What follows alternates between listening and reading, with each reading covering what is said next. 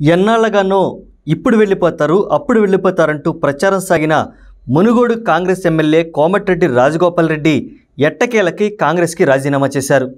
తాను ఏ పార్టీలో చేరనున్న విషయాన్ని అధికారికంగా ప్రకటించినప్పటికీ ఆయన తదుపరి మజిలి బీజేపీ అన్న విషయం అందరికీ తెలిసిందే. ప్రస్తుతం బీజేపీకి ఒక కలిసొచ్చిన అంశం అలాగే మరో సమస్య కూడా ఉంది. సమస్య గురించి విశ్లేషించే ముందు కలిసొచ్చిన అంశం ఒకసారి చూద్దాం. దుబ్బాకలో బీజేపీ తరపున రఘునందన్ అలాగే హుజూరాబాద్ నుంచి ఈటల్ రాజేందర్ గెలుపు బావుట ఎగరవేశారు.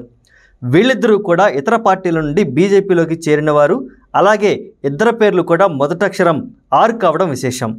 ఇప్పుడు ఇదే కోవలో కాంగ్రెస్ నుంచి రాజగోపాల్ రెడ్డి కూడా బీజేపీ పార్టీలో చేరడం ఆయన పేరులోని మొదటక్షరం కూడా ఆర్ కావడం ప్రత్యేకతను సంతరించుకుంది.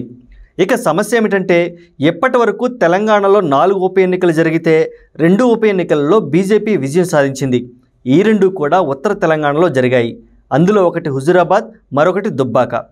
ఇక దక్షిణ తెలంగాణలో జరిగిన హుజూర్ నగర్ నాగార్జున సాగర్ ఉప ఎన్నిక మాత్రం ఓటమి పాలైంది.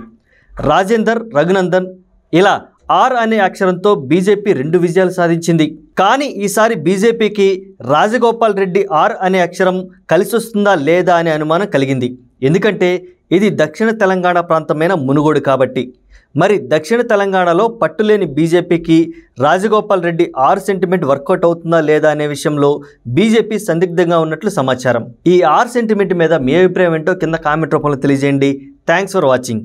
Please do subscribe Myra media Please subscribe Myra Media. Subscribe to Myra Media. Please like, share, and subscribe to Myra Media for lot of film news, gossips, and hot hot news. Please like, share, and subscribe to Myra Media. For more interesting updates, please subscribe to Myra Media YouTube channel. For more updates, please subscribe to Myra Media. So like, share and subscribe to Myra Media.